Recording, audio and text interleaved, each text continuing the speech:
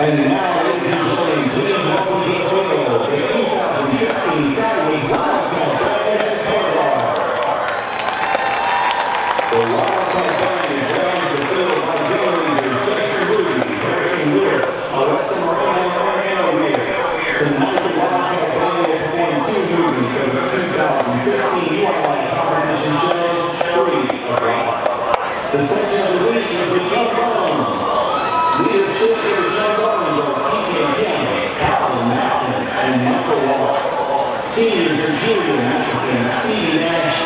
Danny